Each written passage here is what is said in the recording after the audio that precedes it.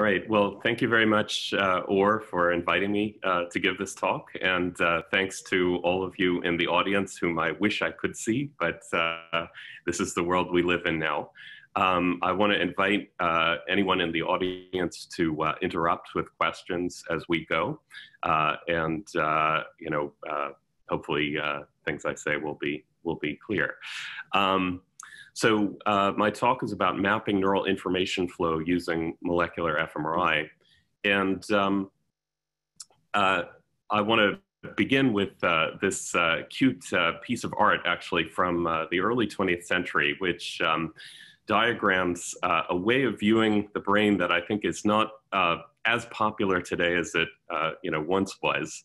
Uh, you know, these days we like to think of our brains as kind of the origins of uh, uh, you know who we are, our our tremendous cognitive capabilities. the things that dispose us towards creativity, that give us intelligence, that may also turn us into criminals or people with mental illness. Um, but at the, uh, you know, at the end of the day, the brain is actually not just who we are. It's actually a complicated device uh, for relating the input that comes in from our outside world to the output uh, that we that we express through our behavior or through things we say and do. And um, the uh, you know the the sort of the the uh, process of figuring out how input uh, comes into our brains, gets transformed uh, by the processes in our brain, uh, and turns into behavior is really at the core of what neuroscience aims to do. Um, at the same time, uh, you know, although this this is a, a, a, figure from from 1939 by this artist Fritz Kahn, uh, even in today's day, you know, we we still struggle uh, to uh, draw the causal loop between what we see, you know, this car out here, and uh, what we do, uh, saying the word car back out, and uh, uh, Kahn's view of the various processes that took place in the head to allow this to take place, um, of course, is utterly fantastical. We know a lot more about how the sensory information gets transformed into uh, a vocalization and then uh, outputted through this uh, organ over here. Um, we know a lot more about how that really takes place in the head than uh, what this figure uh, declaims. Uh, but we're still missing key aspects of it. Now, it's very tempting to fantasize about what goes on in the head. And you know, some of you may have seen, for instance, the Disney movie Inside Out that uh, shows cartoon characters living in our heads and doing the same kinds of things that are going on in this picture here. Um, we were blessed uh, with the discovery, the invention of functional magnetic resonance imaging, fMRI, in the early 90s, uh, in large part due to work uh, here, uh, metaphorically here at the Martinos Center. Um, and this kind of technique gives us this unbelievable look inside the living head, inside the living brain of actual people. Um, and we can see, uh, you know, areas of the brain that light up when certain stimuli are pre presented, when people engage in certain tasks. Um, but in some ways, the ability to identify these functional responses, like the one shown here, um, actually still fail to address the fundamental question I highlighted in the previous slide, namely, how does the outside world get into our heads, prompt us to do things, and then ultimately elicit behavior? And, uh, you know, in particular, when we look at functional responses using fMRI, well, what we're often missing is information about the inputs and outputs associated with the activated areas. Something happened here. How did it come about? Where is it going? In addition, we don't know about the underlying molecular and cellular events that are going on in this place uh, and that may have uh, uh, been caused by uh, inputs uh, to the region here. And so, um, although we have, you know, increasing recourse uh, to techniques that are invasive, that can be used in animals to address some of these questions, at a whole brain level, uh, these types of questions are still, for the most part, out of reach. And so, what I'm going to tell you about today is our lab's efforts to try to sort of scratch at the surface of these kinds of questions by uh, introducing and using uh, new molecular and cellular uh, technologies uh, that we can apply at a whole brain scale, or at least a wide field scale, to study uh, the processes of information uh, uh, flow through the brain and the underlying events that give rise to these changes. So um, the technique uh, that we've worked on over the past, uh, you know, roughly 15 years in my lab is called molecular fMRI. And the idea is that it uses molecular imaging agents or MRI probes that sense cellular function in the nervous system. And because these probes are detectable by MRI, they allow us to combine wide field coverage of MRI with molecular precision for studies of integrated brain function, for looking at these questions of how information flows uh, through the brain and gets transformed at specific steps in neural processing. Uh, now, um, my talk today is going to look at two specific applications um, of uh, our molecular fMRI technology. The first is to dopamine release um, and the local and global consequences of dopamine. So it's looking at a specific step in neural information flow and uh, uh, uh, synaptic communication uh, involved in reward learning. And then the second part of my talk will discuss information flow in reward related circuitry. And I'll introduce to you a new uh, type of uh, molecular tool that we've created that we think addresses, allows us to look at circuit specific processes in the brain. Um, now, uh, an important caveat to my whole talk, by the way, is that um, by using these tools, uh, we are uh, mostly limited uh, to small animals. This is something that we're uh, fighting against, uh, but you'll see that the, the brain mapping, the mapping of information flow that I'll tell you about is mostly is mostly in rodents today. All right, so let me start by talking about dopamine release and its local and global consequences. This is a a, a project that we undertook using an MRI probe for sensing dopamine.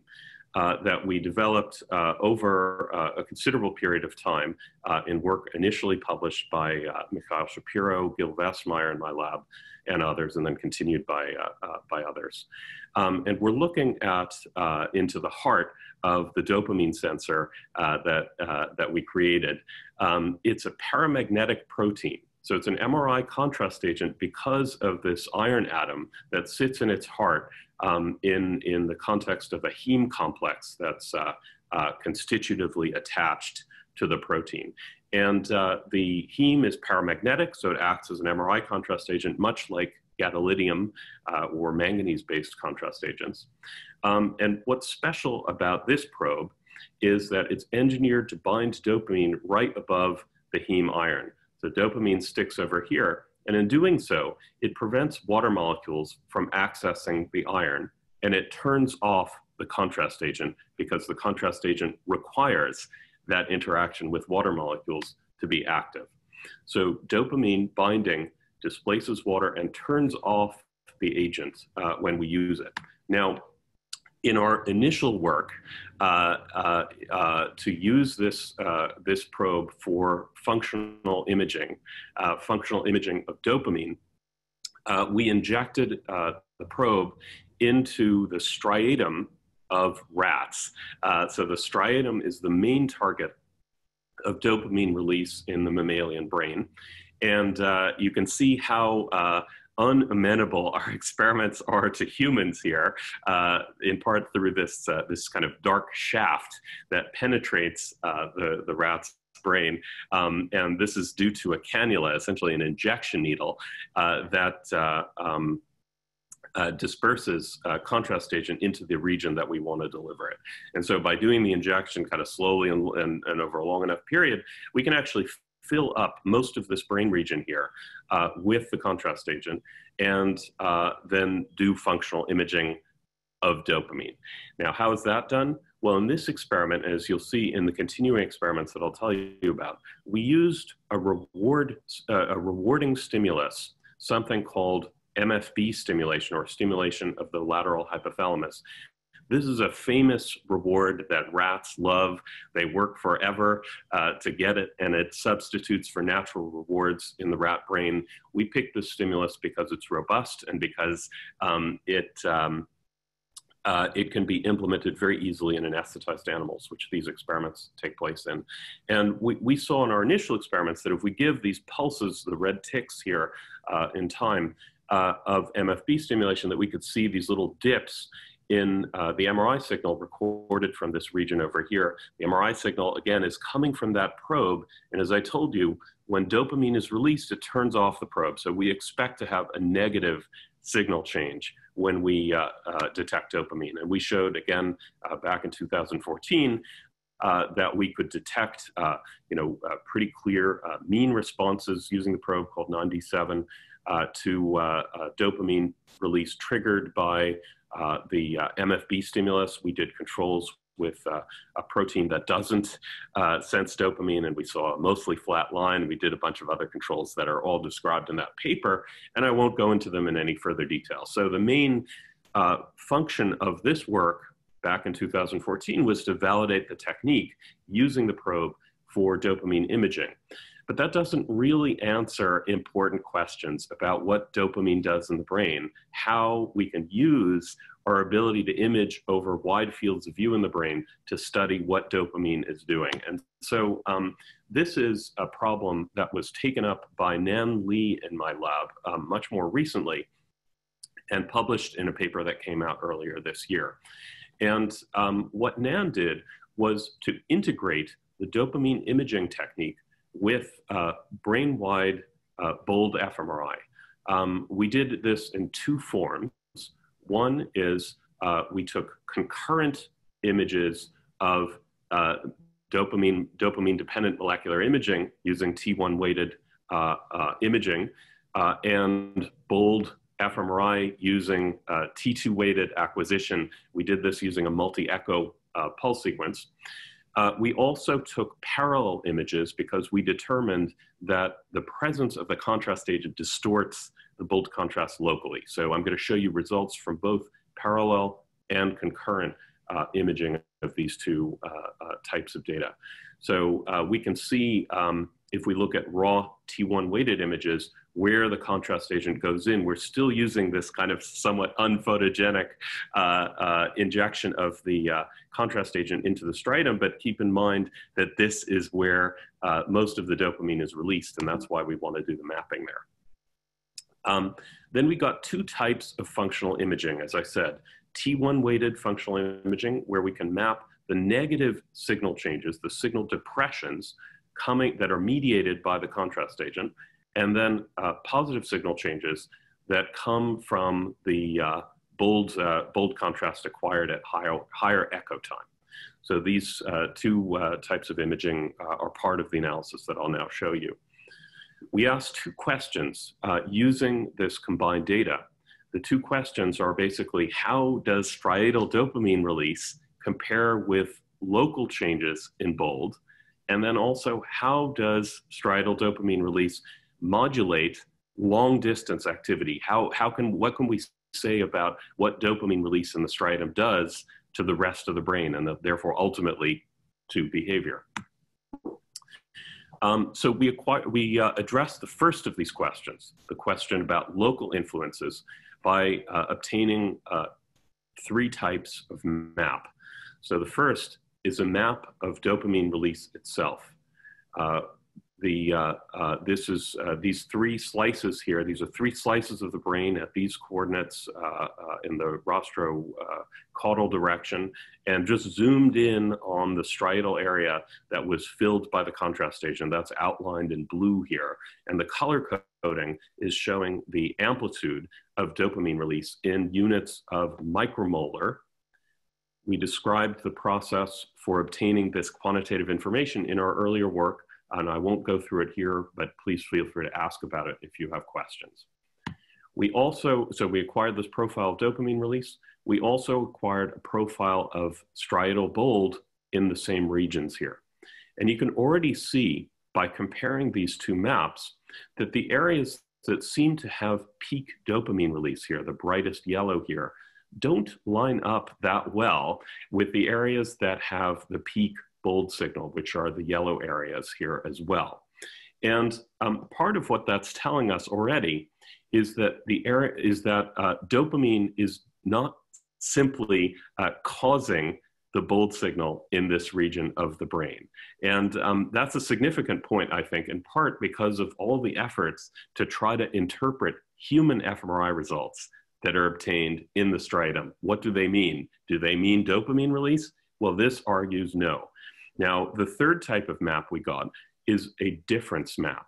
It's the bold fMRI map uh, in the presence of uh, dopamine inhibitor, dopamine receptor inhibition, uh, minus the uh, uh, uh, map obtained in without without inhibition. So essentially, what it's telling us is what the postsynaptic effects of dopamine are in this region of the brain. So blue area here is an area where dopamine receptor inhibition dampened uh, the uh, bold response or dampened our estimate of neural population activity.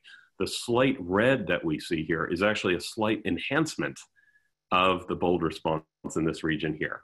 And again, I think what you can see uh, pretty clearly here in particular is that the areas of peak dopamine release actually, if anything, line up with areas where uh, dopamine has a slightly depressing role on, on the net activity in this region.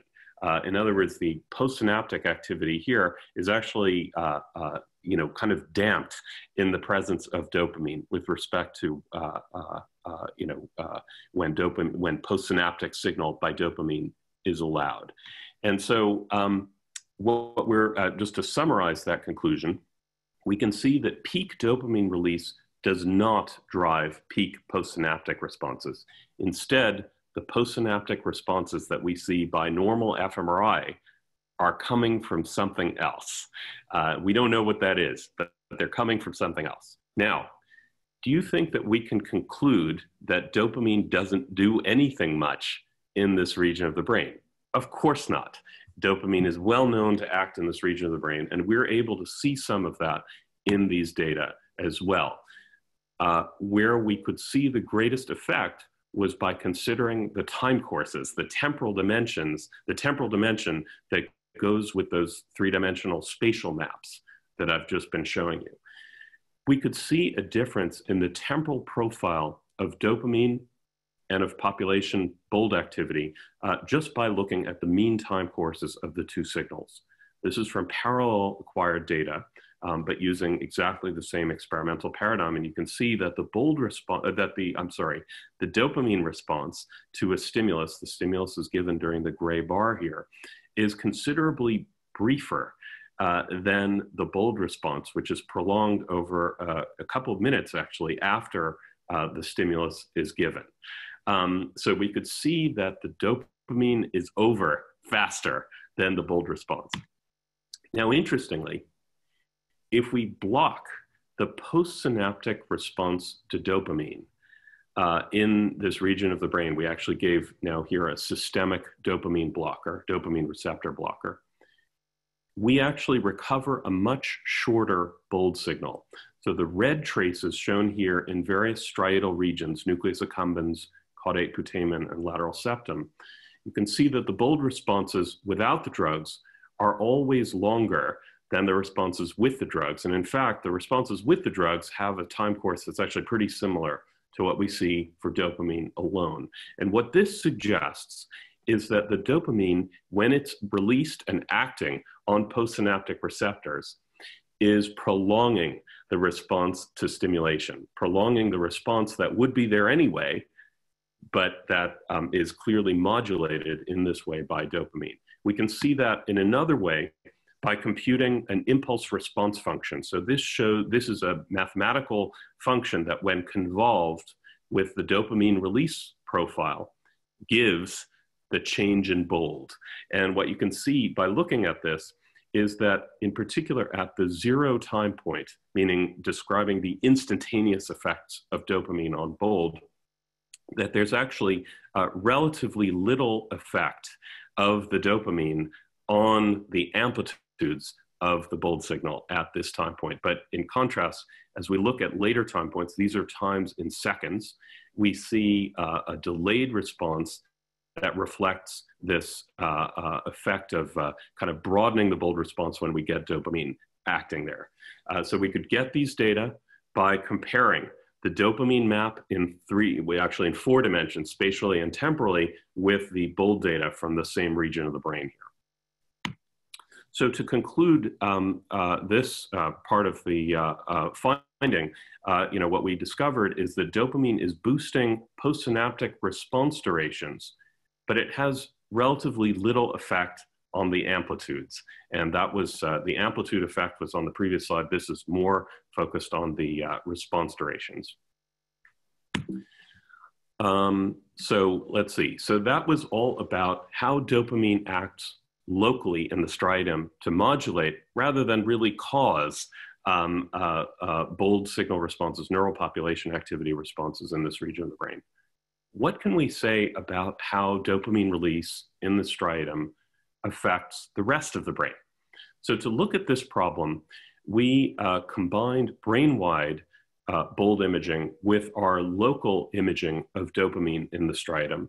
And we first asked the question, well, could we find uh, regions of bold that seem to track the dopamine? And when I say track, what I mean is track temporally, meaning across each instance of the stimulation, also track over different stimulus parameters. So we applied the stimulation at three different amplitudes, and we, we figured that a region that is strongly influenced by dopamine in the striatum would tend to be modulated in the same way by, uh, the, uh, uh, uh by the variation of dopamine in the, in the striatum. And so we addressed this using a sort of a GLM style analysis by pulling out um, a regression coefficient uh, that, uh, that indicates uh, the proportion of variance in the bold signal globally explained by the local dopamine. And what you can see, I think, by comparing uh, the uh, bold map that's just everything that comes from the stimulus uh, with um, this kind of dopamine tracking map over here, is that there are what seem to be sort of hotspots of tracking. Uh, you know, up here you can see in motor cortex is an example. Over here, this is an area called the insula, uh, insular cortex, uh, where you can see this also. And um, the uh, kind of diffuse activation that we see uh, in the bold map alone is not as diffuse down here in the tracking map. We did a second experiment uh, to test um, the extent to which we could attribute uh, these results, these, these uh, apparent dopamine dependent modulations to dopamine uh, by adding the dopamine blocker uh, and looking globally now at where signals are modulated. And what I think you can see is that many of the same uh, kind of hotspots that show up in the dopamine tracking map also show up as strongly modulated by the dopamine blocker. Um, so here are a couple of examples. Here I'm again pointing to the motor cortex and also this uh, insular cortex region here. There are also regions where we can see that neither the dopamine tracking nor the dopamine receptor blockade are, uh, are uh, having strong effects. So a, a, a, really outstanding example is over here in the ventral striatum, where we, see a very strong uh, uh, net bold response, but uh, much less tracking. Uh, over here in a region called cingulate cortex, we also see comparatively little tracking and comparatively little dopamine receptor dependent modulation. So what this is telling us is that dopamine seems to have a role in modulating these long distance kind of activity relationships, specifically in motor and insular cortex, which are uh, respectively, of course, involved in motivated behavior and in emotion and uh, uh, kind of limbic processing. So we can't go much further than that. I think it's speculative to say that this apparent dopamine dependent modulation of these areas is the reason uh, why certain types of behavior take place. But I think it's quite suggestive of the role of dopamine release in the striatum in modulating these uh, kind of much more diffuse circuits uh, in the brain for uh, bringing about motivated behavior. I should say, by the way, um, as a technical note, that this experiment here was done um, using systemic dopamine blockade, but we also did a more causal manipulation of the local dopamine in the ventral striatum, and we got a very similar uh, pattern of modulation here. So I think this really is a causal effect of striatal dopamine release on, on um, broad uh, signal uh, uh, in multiple regions of the brain. Okay, um, so we're taking this work in a number of directions. So I think it didn't escape um, your uh, attention, or it may not have escaped your attention, that, uh, you know, of course, these experiments were done uh, with, uh, you know, an invasive stimulus, this uh, uh, lateral hypothalamic electrical stimulation. We want to be able to detect more subtle stimuli in the brain and that, that elicit dopamine, um, that elicit dopamine release. And so uh, we've put in quite a lot of effort into trying to make more sensitive uh, dopamine sensors, and we've got a, a, a, you know several projects in the lab that that aim to do this, uh, largely focused on using uh, nanoparticles of various sorts or nanostructures of various sorts. And uh, one we published earlier this, uh, or I guess it was last year, where we uh, uh, uh, employed this nanoparticle aggregation mechanism to sense dopamine, and we could create R2 uh, dependent effects, so T2 dependent effects uh, due to dopamine that, uh, that require far less contrast agent and that might therefore provide um, considerably better sensitivity. Um, another direction that we're very interested in is trying to look uh, trying to use a, a, basically a more photogenic uh, contrast agent delivery scheme.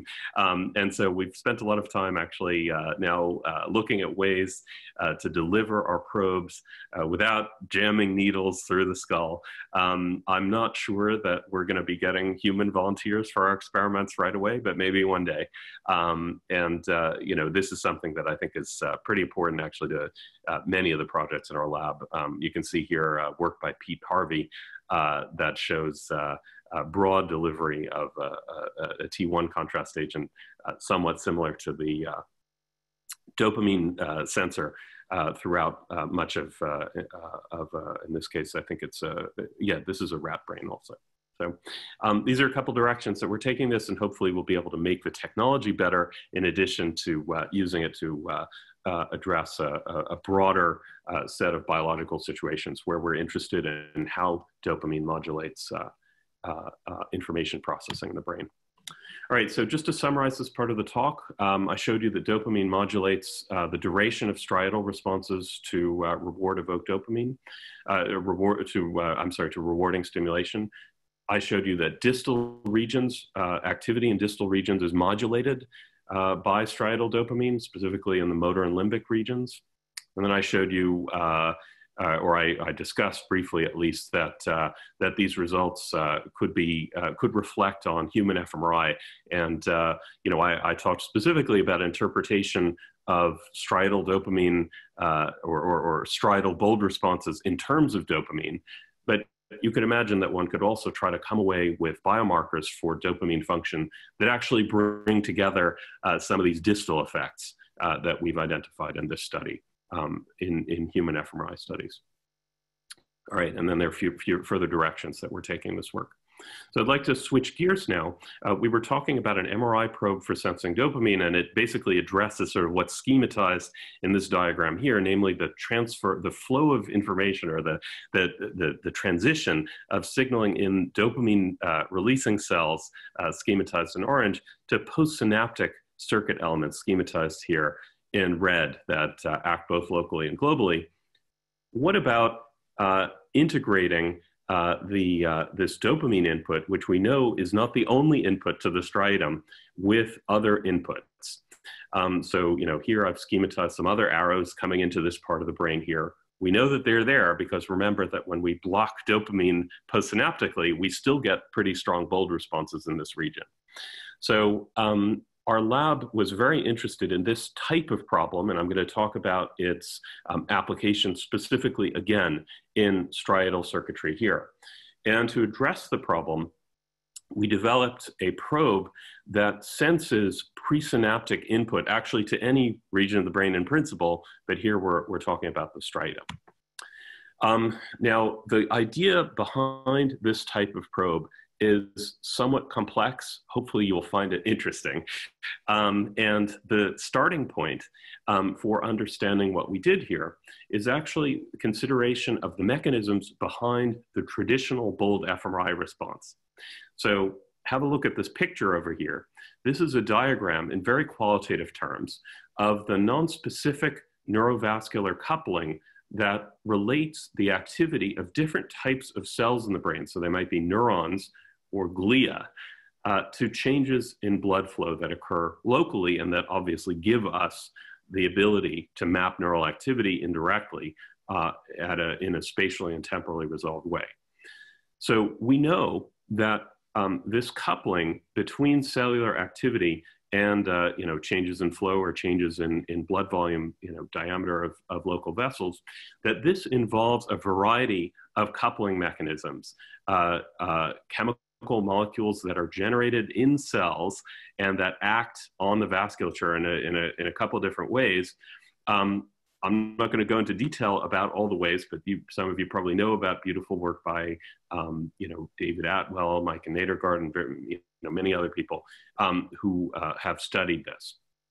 Now imagine that you had the ability not just to have this kind of non-specific coupling, this non-specific neurovascular coupling where you can't tell what cell triggered the local bold response.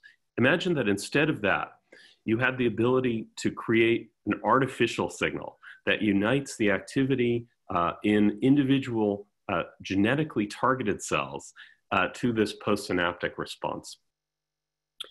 Uh, you could achieve that kind of thing if you had the ability to do two things. First, you need to introduce an artificial signaling mechanism. It could be a flavor of one of the endogenous signaling mechanisms that that causes uh, uh, vasodilation, activity dependent vasodilation, uh, or it could be a, a, completely new type of approach. Um, you need to be able to do that, and that's what these little blue Pac-Men here are schematizing. The other thing you need to be able to do is to somehow get rid of the background bold response, the background sources of neurovascular coupling. And we do that by, uh, or we, we, can imagine doing that at least, by uh, either just overwhelming the endogenous fMRI by subtracting it or by silencing it. Subtracting it meaning doing some kind of differential, uh, differential uh, uh, uh, measurement or silencing it using some kind of inhibitory approach. Um, so this is a bioengineering technique where, where, the idea is to create these probes that create that uh, induce artificial hemodynamic responses. Um, and uh, uh, then uh, you know i'll tell you about how we did that and then how we apply them. And uh, i also want to just say very briefly the motivation for this slightly awkward approach you know where we're hijacking the endogenous mechanism rather than you know making the ideal uh, you know genetically encoded paramagnetic contrast agent the reason for that is, is simply that, well, we tried and haven't yet succeeded uh, with uh, just sort of making a genetically encoded or a, a, detectable version of a genetically encoded version of things like our dopamine sensor. All right, now how do we create these probes that hijack the hemodynamic response? Uh, we do that by engineering a protein called nNOS, neuronal nitric oxide synthase, that is one of the dominant sources of hemodynamic contrast in fMRI or any of the related techniques that use blood flow based measures of neural activity. Uh, we took nNOS and we swapped out its catalytic domain with the catalytic domain of a, of a close cousin, something called iNOS or inducible nitric oxide synthase, um, so that we created this thing called nitric oxide synthase for targeting image contrast or NOSTIC. The NOSTIC is just like nNOS in the sense that it is able to induce vascular contrast.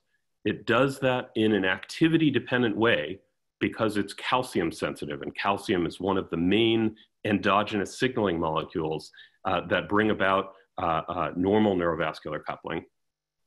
And importantly, the NOSTIC is distinguishable from nNOS-dependent endogenous fMRI signals by uh, using a special drug called 1400W that inhibits the Nostik but has next to no effect on endogenous uh, hemodynamic responses. So these are the results down here from a cellular assay where we express either the Nostik or the uh, wild type nNOS in cells. We stimulate the cells using a calcium ionophore, so it's sort of mimicking neural activity in a very loose sense. And we apply the drug, and what you can see is that the drug basically quashes the Gnostic dependent signal, whereas it has comparatively little effect on the endogenous, uh, uh, or the, what would be the endogenous signal. And we also tested this drug, and I'm, I do not have the data here to show you, but we also tested the drug in just sort of a canonical fMRI paradigm and showed that it has um, essentially no effect on uh, the, the normal fMRI signal due to sensory stimulation. All right, so Gnostics provide a means uh, for converting intracellular calcium dynamics into artificial, kind of engineered fMRI signals, and they're genetically encoded. And that's what gives us the ability to do cool experiments with, with them.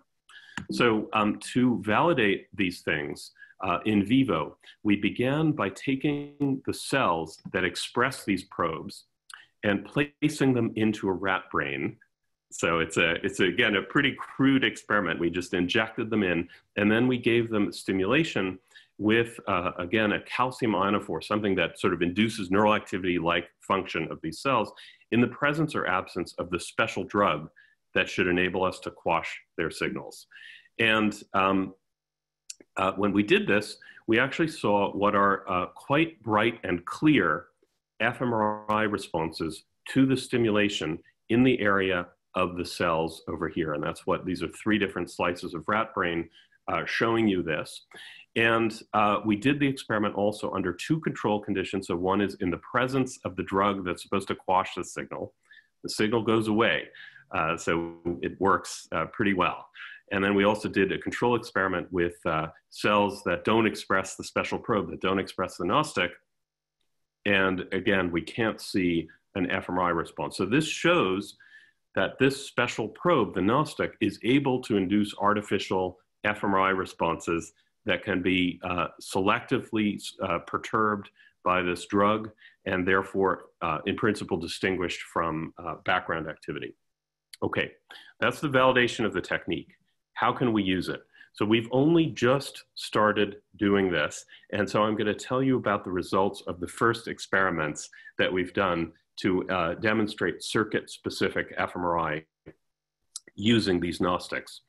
And the way in which we use them to perform circuit-specific imaging is by packaging them into a retrograde viral tracer. So we encoded the Gnostic into a herpes simplex virus, an HSV, that when, uh, when it's injected at a particular place in the brain, gets taken up presynaptically and transported to cells that project to that region of the brain. And so in, in this way, you know, if we induce, you know, if we inject the, the vector into the striatum that's schematized in this uh, sagittal slice of a rat's brain here, it would get taken up and transported and expressed in these distal regions that all project to that region. Then we do two fMRI experiments. First, in the absence of the drug, then, in the presence of the drug, the drug, remember, specifically inhibits the Nostik. And so we get um, a data set that includes background fMRI plus the Nostik signal, and then background fMRI only. And then we have to do subtraction, and we get the different signal out of that. Now, that may sound complicated, and indeed, we are trying to make it better so that we don't have to do a subtractive technique. However, we do get two things for the, the price of two, let's say, uh, here, in the sense that this experiment, when we perform it, tells us not only the Gnostic specific fMRI signals, but also the non-specific fMRI signals. And so that, um, that uh, joint kind of data acquisition can tell us uh, extra things about uh, how the brain works, uh, you know, in this kind of context. Now, uh, in the experiments that I'm just going to show you results from, uh, we introduced the virus into the striatum. We traced regions that are uh, projecting to the striatum, and we're giving that same rewarding stimulation, the lateral hypothalamic reward stimulus that we used in the previous study uh, with dopamine mapping. And we got these results. So here I'm showing you the different signal. So in other words, the uh, signal corresponding to this bottom region uh, only due, at least putatively, uh, to the Gnostic probe. And you can see that, again, they're sort of what appear to be hotspots. Now, in this case, the hotspots are coming from, at least in principle, physical expression of the probe in regions that are activated by the stimulus. So when we see regions like, um, again, insular cortex or motor cortex here lit up in this difference map, we can say that these are regions that are uh, sending input to the striatum, to the area where uh, the uh, virus was introduced during the rewarding uh, stimulation. Now, this is the first experiment of its kind. We don't expect it to be perfect. Uh, and to evaluate it, one of the uh, first things we did, of course, was a control experiment where instead of encoding R Gnostic in the virus, we encode M cherry, which is a, a fluorescent protein that shouldn't do anything much. And uh, we just did exactly the same analysis. And in fact, you can see that um, although there are a few little blips in uh, this map, you know, I think reflecting imperfections in the data, um, there's actually, uh, you know, a much cleaner slate, very little uh, what appears to be selective activation um, in this, uh, in this control experiment here. We could do also ROI level analysis to determine where these uh, different signal uh, different signals are significant, where they're statistically significant. And in fact, in four regions of the rat's brain, the caudate putamen, entorhinal cortex, motor cortex, and substantia nigra, which is the main dopamine source to the striatum, we could find very consistent uh, different signals uh, when comparing the absence to presence of the, uh, this drug, this 1400W. So in other words, these are the most reliable areas where we're getting Gnostic dependent signal. They're therefore the most, the areas that show uh, the most reliable evidence of specific input to the striatum during this reward paradigm. Uh, none of the regions that we looked at with M. cherry in the control condition showed significant differences at all. Um, and so uh, basically, again, to summarize, we see consistent signatures of striatal input uh, from diverse brain regions in, uh, you know, into, into the striatum. Um, because we got non-specific fMRI data uh, in the same experiment, we can compare the circuit-specific measurements using the Gnostic with the non-specific measurements that come just uh, in, in the presence of the, the, the, the, inhibitor that gets rid of the Gnostic signal. And we could ask a couple of questions. First, um, does, the, uh, does the activation uh, that we would see, you know, in, in, in background, as it were, does the endogenous non-specific fMRI signal correlate closely uh, with the uh, with the Gnostic specific signal? Uh, we could ask that question, and um, uh, you know, in doing so, you know, we, we address, I guess, two things. I, I, I, said, I guess it's really one question that lets us do two things. First, you know, we can assess whether uh, the uh, Gnostic signals are somehow just artifacts of having seen, let's say, bigger fMRI signals in those regions to begin with. And the second thing is, it tells us something about whether, what the balance of presynaptic versus postsynaptic activity in each region is with respect to the striatum. And what you can see in this scatter plot of, I guess it's, uh, I think it's uh, eight different regions here, eight different uh, brain regions, um, is that in fact, there isn't uh, a clear evidence of correlation between the non-specific fMRI and the Gnostic signal. And in particular, uh, there are a couple regions over here, and I'll, I'll, call your attention specifically to the CPU, caudate putamen, and the motor cortex, that have the strongest presynaptic input, according to the Gnostic measure, to the striatum. But they also have some of the weakest non-specific fMRI signals. So it really suggests that these regions provide a particularly strong balance of excitation to the striatum versus post, uh, uh, of, sorry, of presynaptic input to the striatum versus uh, uh, activity that's coming about through alternative pathways, perhaps postsynaptically. All right, So the takeaway from this is that uh, there are different uh, ratios of input to total activation in the different brain regions here. It tells us something about information flow. Now, the second analysis that we did was to compare resting state measures of functional connectivity, which come specifically, of course, by just looking at correlations between uh, brain regions, but are often used to infer, uh, you know, some kind of causal relationship between the two regions. So we compare the resting state measure given by a correlation coefficient or a Fisher transformed correlation coefficient on the x-axis here with the Gnostic signal. Why does this make sense as a, as a, as a, uh, as a thing to do? Well, the Gnostic signal is also functional connectivity. It's actually, in principle, bona fide, hardwired functional connectivity because we're only seeing with this technique the signal from regions that are directly projecting through anatomically defined projections to the target region. And, and, so we ask the question, well, how well do these two things line up? And again, the question, the answer is, well, not particularly well. So in particular, if we look at the, the four regions that show the strongest Gnostic signal, they are varying in terms of what the resting state correlations that they exhibit are uh, this is resting state correlation to the striatum. So again, we're sort of in both cases, we're kind of looking at, well, how close are these regions functionally speaking to the striatum? So what we see here is that resting state correlations do not match presynaptic strengths, at least in the paradigm we looked at, which was of course this reward stimulation paradigm. The answer might be different if we did a different experiment, but that's not what we did here. All right, now um, an obvious further thing to look at is the question of, well, how well do the functional signals that we discovered using the Gnostic approach line up with sheer anatomy? You know, in other words, are these areas that seem to project, that seem to be uh, uh, pulled out by this hemogenetic imaging, as we call it, uh, are these areas simply the areas that get the most, uh, that, that sort of pick up the most tracer if we just inject an anatomical tracer uh, to presynaptic targets uh, to the striatum. And so we looked at that um, using uh, one of these brain clearing techniques of variance of clarity, which we uh, implemented in collaboration with uh, Kwang Hun Chung, uh, my colleague at MIT. And we also did conventional histology.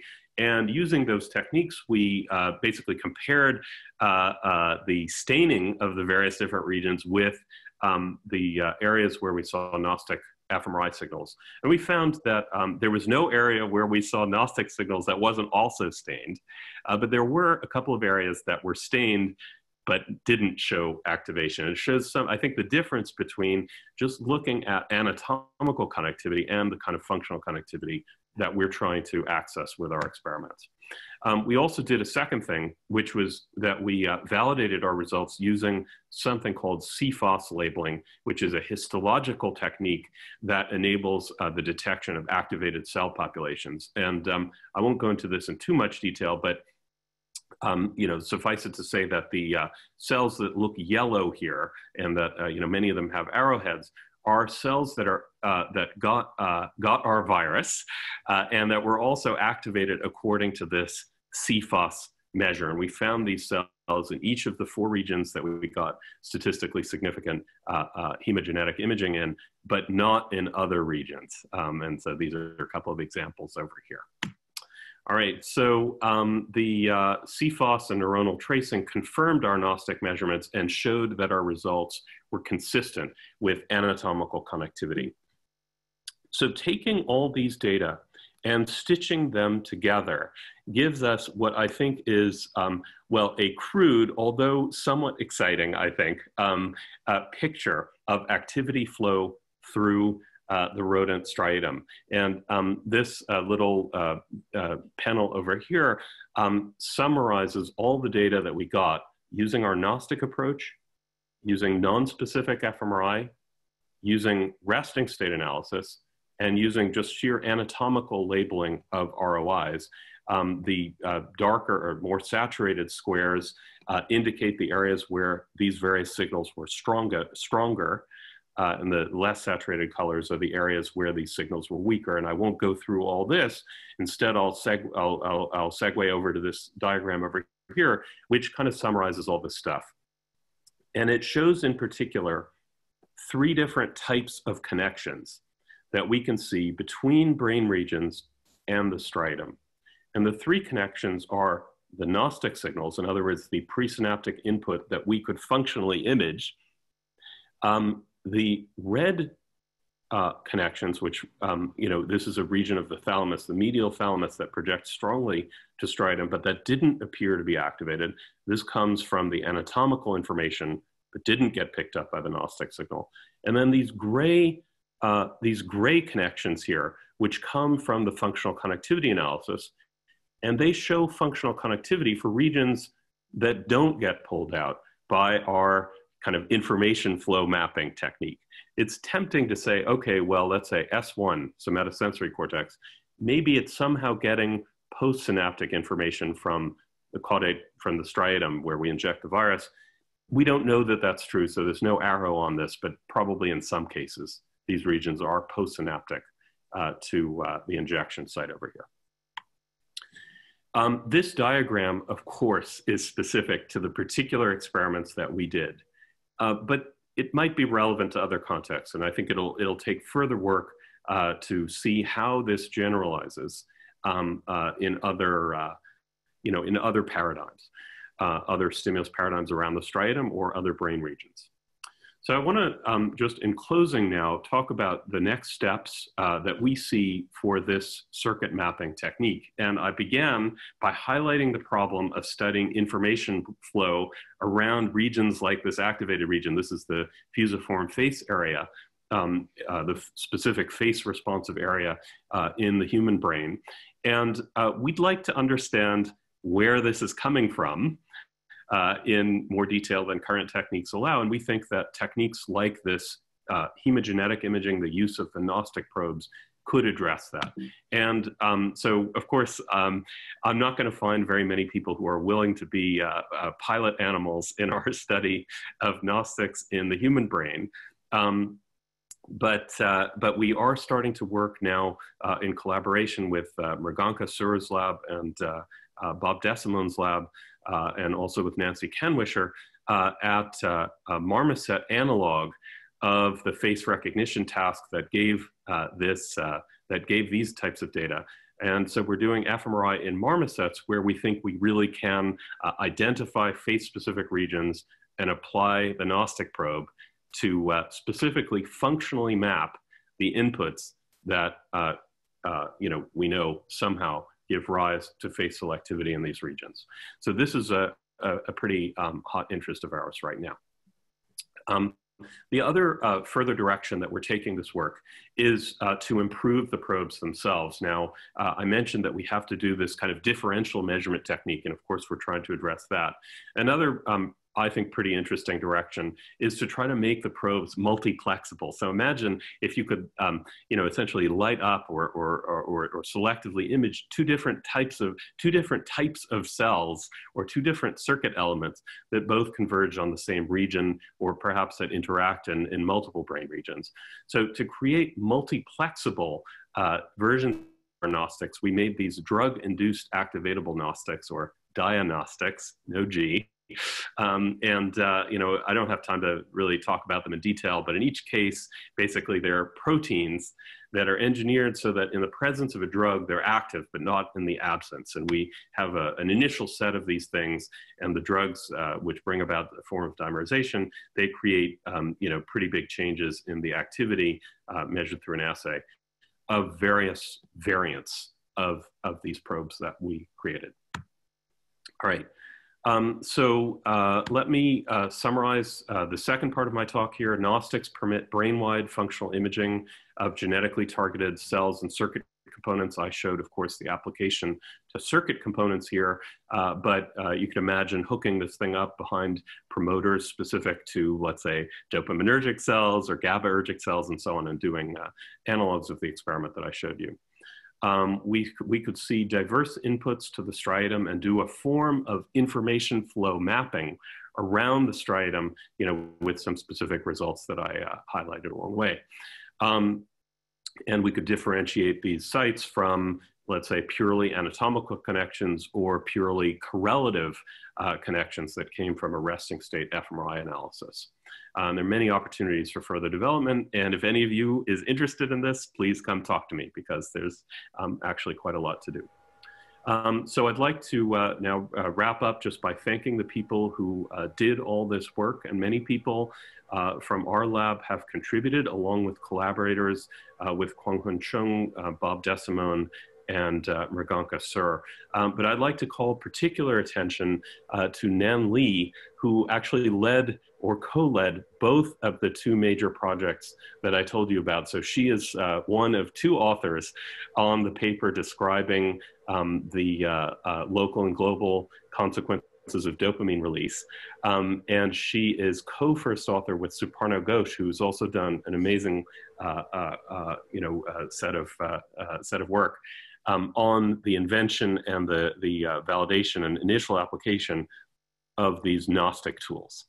Uh, so big thanks, especially to Nan and Suparna, but also to everybody else who contributed and funding from these organizations here.